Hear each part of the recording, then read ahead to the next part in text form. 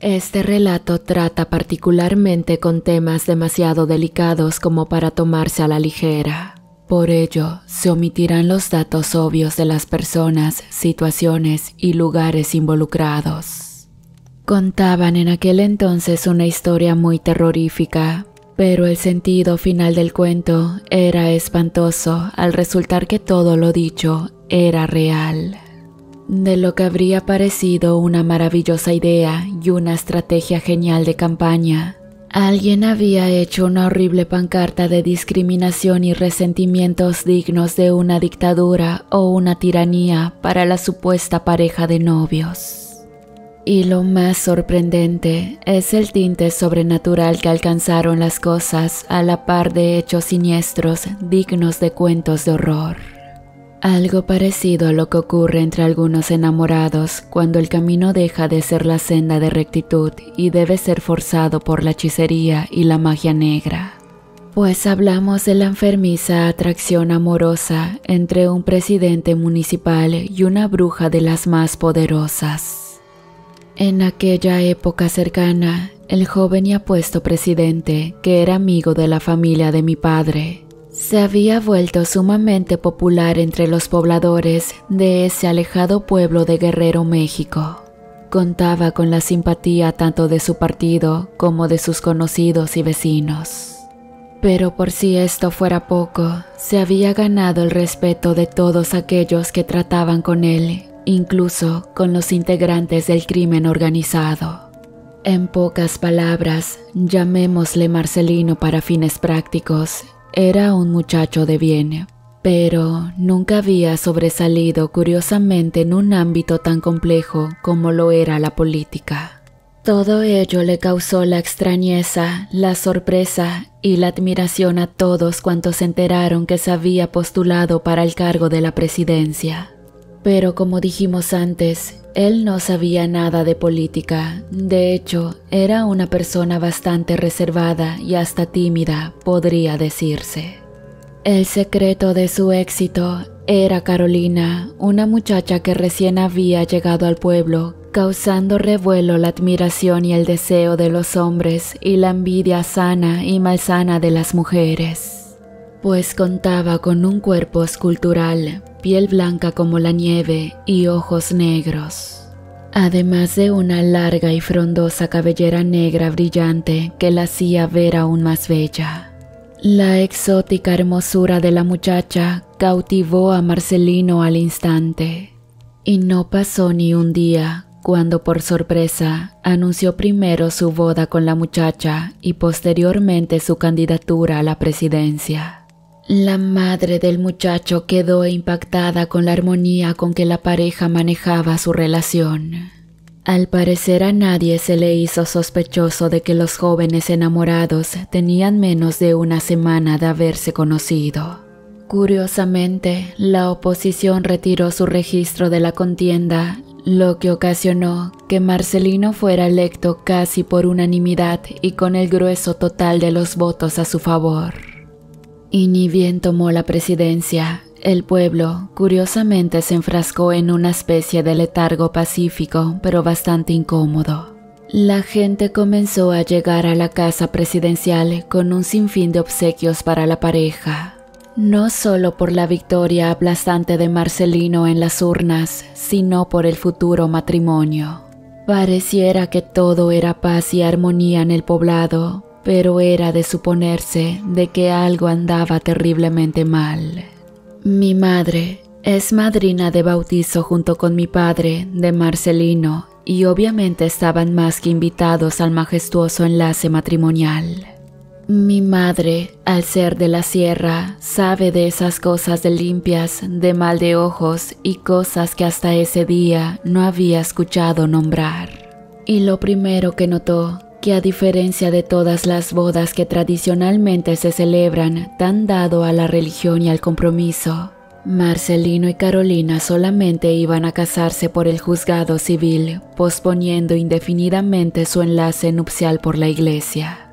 Al cuestionarle a su comadre, mamá se enteró que era decisión de la novia el no hacerlo por sus creencias. Y desde ahí mi madre sintió un repelus que no le permitía estar quieta. Por si fuera poco, desde que arribamos al pueblo nos comenzaron a pasar cosas bastante extrañas. La primera noche puedo asegurar que nadie pudo dormir. Normalmente en los poblados de esa región, cuando el transporte público normal se retira, quedan los taxis de sitio. Pero curiosamente esa noche no había ni una sola alma en la calle.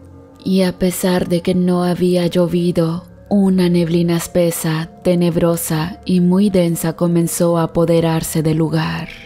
Mi hermana nerviosamente nos dijo que hacía rato algo o alguien estaba rondando entre las matas como si un animal salvaje estuviera acechándonos. Y era cierto, algo gruñía entre la oscuridad y se acercaba peligrosamente. Por fortuna, mi padre logró comunicarse con un conocido que rápidamente llegó a recogernos. Mientras la vieja camioneta se alejaba ya con nosotros a bordo, pudimos ver a lo lejos unos destellantes ojos brillantes que perseguían al vehículo a lo lejos. Afortunadamente nos pudimos ir a tiempo de allí antes de que esa cosa nos alcanzara. Al llegar a la casa de los padres de Marcelino, su madre salió a recibir a sus compadres no como si estuvieran esperándolos normalmente, sino como si temieran que algo nos viniera persiguiendo. Al entrar en la casa, ni Marcelino ni Carolina estaban, por lo que la madre de este no pudo más y finalmente se desahogó. Comadre, no sé cómo me vaya a tomar lo que le voy a decir, pero no tenemos a nadie más quien contárselo. Pareciera que la gente del pueblo estuviera encantada o amenazada, de alguna manera nadie se atreve a contrariar a Carolina. Es como si ésta tuviera alguna clase de poder sobre esa gente. Hasta los mafiosos le temen y mi pobre Marcelino anda como sonso detrás de la mujer.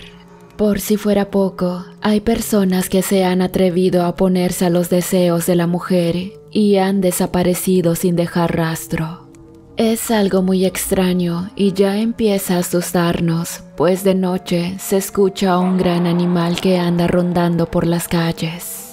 Se sube a los tejados y a veces se ha metido a las casas a robarse los animales. Yo siento que la tal Carolina le ha hecho un amarre a mi pobre muchacho. Usted lo conoce y sabe que él no es de hablar y mucho menos en público, y ahora ya no se mira como antes, al contrario, se ve enfermo y flaco.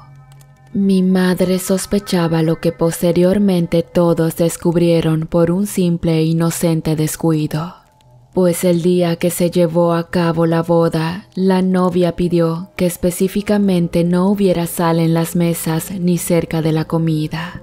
Para algunos, quizás es molesto que los niños anden corriendo entre las mesas durante una fiesta de adultos.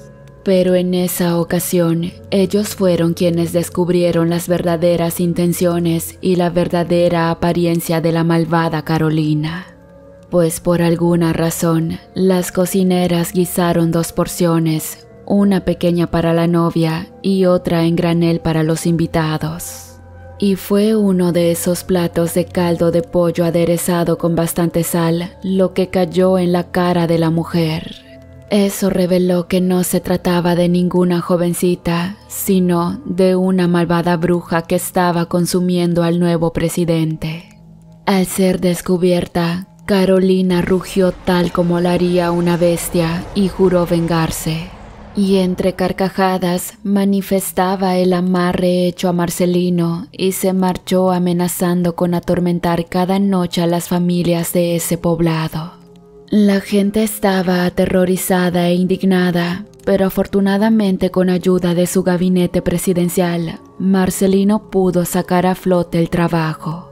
Pero no su salud, pues cada día que pasaba se le notaba cada vez más delgado y pálido. Su madre y la mía lo convencieron para que fueran a ver a una curandera en la zona más alta de la montaña. La señora, al verlo, inmediatamente se santiguó, bajando a todos los santos del cielo. La madre de Marcelino comenzó a decirle lo que la mujer le había dicho desde que se conocieron. Pero la señora no estaba conforme con la información. Ella sabía que faltaba mucho más por descubrir. Comenzó a hacer uso de sus conocimientos sacando un libro de hechizos y pócimas. Comenzó a trabajar para purgar literalmente a Marcelino de lo que le hubieran dado de comer y beber. Y tal como la diminuta ancianita imaginaba, el muchacho volvió el estómago Arrojó una gran cantidad de cabello, recortes de uñas y las pantaletas intactas presumiblemente de Carolina. La ancianita comenzó a inspeccionar el asqueroso contenido que fue expulsado de las entrañas del joven. Detenidamente observaba y finalmente de revisarlo todo dio su veredicto. La mujer que hizo este amarre se aseguró no solo de verse hermosa a los ojos de su hijo, sino de todas las personas, por eso nadie sospechaba. ¿Cómo dicen que se llama la tal bruja? Se llama Carolina, respondieron las mujeres. Madre Santísima, esa no es cualquier bruja, es una nahuala, y no solo eso, ella come gente. No les extrañe que el haberla hecho enojar y haberla descubierto, esta querrá tomar venganza a toda costa. Y por cierto, no es ninguna jovencita, esa maldita ya era una bruja vieja cuando yo era una niña y mi nana me enseñaba a escoger las hierbas para los tés. Se ha mantenido con vida porque se cuela en los pueblos para alimentarse de hombres y cuando no les sorbe la energía como un súcubo, lo hace halagándolos. Mientras ellos se sienten honrados con los cumplidos, ella les sorbe la vida lentamente. Pero la manera que más le gusta de alimentarse es precisamente engatusando a la gente para llevarla al monte y devorarla como lo hacen los animales. Casi nada la puede herir, una bruja no es como los cuentos dicen, mientras más viejas son, las brujas nahualas se hacen más fuertes. Solamente una emboscada al amanecer la haría caer, y eso si es que tienen la suficiente pericia y valor para enfrentarla en su forma de bestia. Y mientras eso no pase, el amarre no se podrá romper y este muchacho se nos va a morir en los puros huesos. Y tal como la bruja amenazó en su fallida boda, esa misma noche comenzaron los ataques de un espantoso y enorme animal deforme que se metía a las casas para sustraer primero aves de corral. Esas noches no hubo sino que resignarse y reforzar las medidas de seguridad como cerrojos y candados pero pronto comenzó a escalar, sacando ahora perros y gatos e incluso loros del mismo interior de las viviendas. Y si estas casas estaban protegidas por magia, simplemente rompía puertas o ventanas y se metía a la fuerza. Y una tormentosa noche serrana, la que todos temían que sucediera, pasó. Carolina, convertida en bestia, sustrajo de su cuna al primer recién nacido. Pero una vez que los familiares se percataron del extraño y horrendo animal dentro de la casa, este soltó una enorme cantidad que asimilaba a una neblina verdosa y espesa que paralizó a todos los presentes. La bestia tomó con sus fauces al infante, saliendo tranquilamente de la vivienda sin que nadie se lo pudiera impedir. La familia se ahogaba en sus lágrimas, sin poder emitir sonido, sin poder moverse, a pesar de la inmensa rabia, la impotencia y la profunda tristeza. Finalmente, al rayar el sol en la montaña, fue que un grito que había estado ahogado por horas cimbró la sierra entera. Era inquietante y sobreacogedor, aterrador en cierto modo, pero que manifestaba un dolor infinito. El dolor que solamente una madre puede sentir al perder aquello que sus propias entrañas trajo a la vida. Al salir a pedir ayuda al pueblo, evidentemente era demasiado tarde, pero ¿Qué más podían hacer esas pobres y desoladas personas que no sabían qué clase de demonio les arrebató el fruto de sus amores? En la plaza la gente se arremolinaba, todos afirmaban haber visto a ese horrible animal paseándose con gran señorío. Era como si no tuviera miedo de nada ni de nadie. De repente, en un convoy llegó Marcelino, descendiendo aparatosa y difícilmente de su camioneta presidencial. Se subió a un improvisado atril y comenzó a pedir amablemente al pueblo su ayuda. Eso que nos está atacando, señoras y señores, no es un animal, por lo menos no un animal normal. Se trata de la bruja que intentó engañarme para contraer nupcias conmigo a fin de apoderarse del poblado y cometer sus fechorías.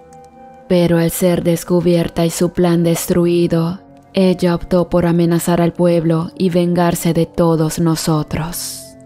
Solamente podremos detenerla si trabajamos en equipo y logramos que la maldita quede en forma de bestia a tocar la luz del sol. Solamente así podremos acabarla. Los hábitos de la bruja habían cambiado, ya que ahora no solamente se alimentaba de animales, sino que había escalado a cazar su alimento y eso lo volvía mucho más peligrosa de lo que era. Todos estaban alarmados en el pueblo, se suspendieron las clases en todas las escuelas, en las fábricas y colegios solo debía haber actividades de día. La policía debía patrullar en grupos, incluso los mafiosos se prestaron a ayudar para proteger a sus familiares y amigos que vivían en el pueblo. La madre de Marcelino temía por su vida, lo que empezó con un simple amarre se había convertido en una cacería mortal a manos de una bestia infernal sedienta de sangre. Marcelino decía a su madre que todos corrían peligro al igual que él y que lo que menos quería era dejarla sola pero como máxima autoridad al ser presidente, debía impedir junto con sus hombres que esa bestia entrara en las casas y le hiciera algo a los niños o a sus madres. Luego notaron que la bestia no salía a diario, sino que solamente en las noches sin luna y más frías. Esto rebasaba por mucho la capacidad de las autoridades para detener al diabólico animal.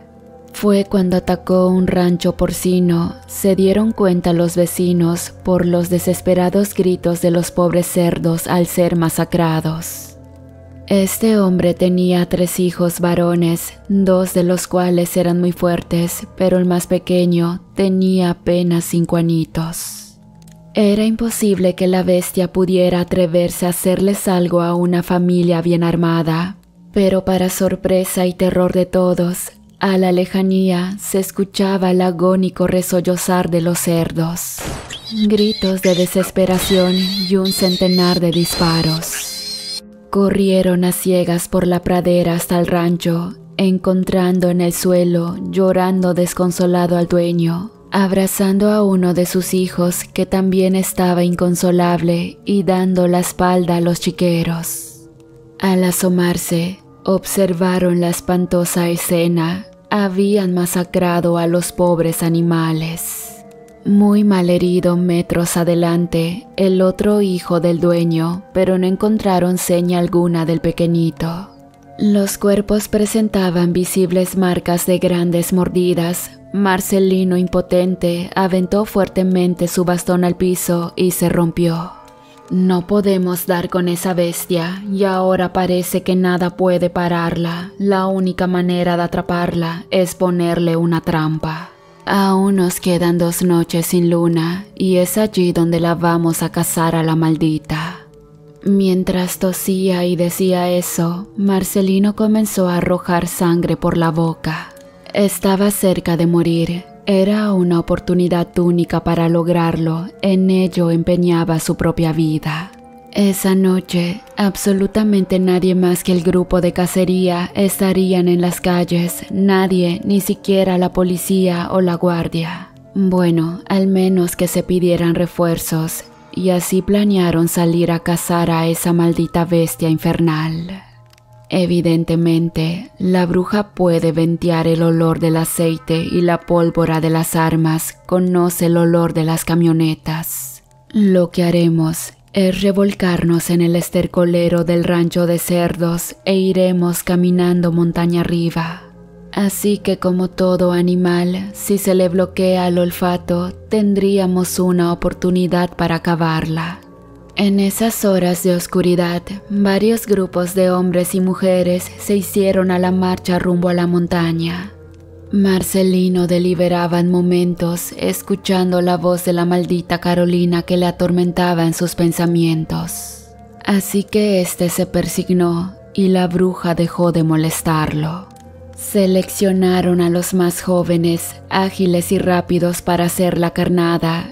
La idea era guiar a la bruja hasta el barranco donde la gente la estaría esperando. A diferencia de los cazadores, los chicos llevaban ropas limpias, además de colonia y aroma aceite de uso mecánico y pólvora en caso de que la bruja desconfiara. Pasaron una gran parte de la noche esperando, mientras tanto los pobladores se encerraron bajo llave. Nadie había en la calle y nadie saldría si no se le lanzaban las bengalas de auxilio.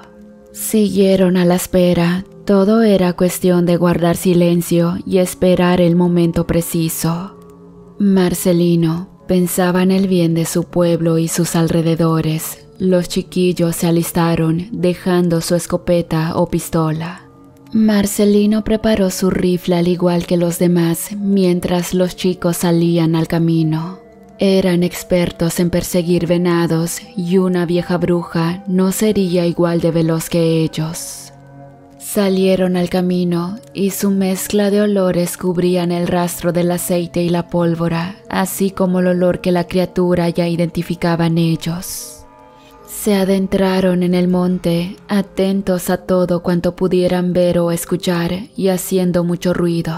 Su idea era llamar la atención de la bruja, incluso la llamaban a gritos y la retaban para que saliera. A pocos metros del camino descubrió restos de animales recientes. Repentinamente algo les pasó rozando por encima era esa infernal criatura, ahora se veía más fuerte y aterradora. Los chicos comenzaron a hacer un gran escándalo porque realmente iban huyendo, querían que la bruja los persiguiera. Afortunadamente lograron que la criatura los persiguiera furiosa, pues sabía que se estaban burlando de ella. Corrían con toda su alma con esa cosa espantosa pisándole los talones. Era obvio que ellos querían sobrevivir. La bruja, a pesar de su gran fuerza y fiereza, nunca se había topado con semejantes rivales. Los jóvenes se metieron a través del terreno más inhóspito, agreste y lleno de espinos que encontraron donde la maldita bestia, muy trabajosamente y severamente lastimada, lo seguía más por rabia que por hambre. A la lejanía, el vigía dio la señal de verlos aproximarse y pronto todos dispusieron sus armas. Pudieron ver la bestia persiguiendo a los jóvenes, quienes por error voltearon a verla, cosa que la bestia aprovechó para darle un zarpazo a uno en la cara hasta dejarlo ciego. Estaban agotados, ya no corrían con los pies, sino con el alma. Sabían que de fallar nada podría detener a esa bestia. Sorprendentemente algo sucedió, todo se nubló, y al cruzar el único acceso a la estrecha pero altísima barranca, la bestia pudo detenerse y comenzó a retorcerse de dolor, pues alguien le había arrojado un costal de sal desde lo alto. La pierna de Marcelino colgaba destrozada del muslo, y los hombres, llenos de rabia, pensaron lo peor y arremetieron con todo el poder de fuego que traían. Y cuando la bestia estaba tendida en el suelo ya muerta, varios machetazos confirmaban que no quedara ni aliento ni señal de vida en ella. Llevaron a Marcelino al médico del pueblo, mientras que el padre blandía las campanas para llamarlos a una oración por su amado presidente. Esa noche Todos se quedaron en la clínica esperando noticias de Marcelino. Finalmente despertó apenas amaneciendo. Testigos que custodiaron el cadáver del monstruo afirmaron que apenas al rayar el sol, este se incendió solo y desapareció hecho cenizas. Y bueno, a pesar de que perdió una pierna, Marcelino fue un gran presidente municipal que en su tiempo hizo mucho por el pueblo.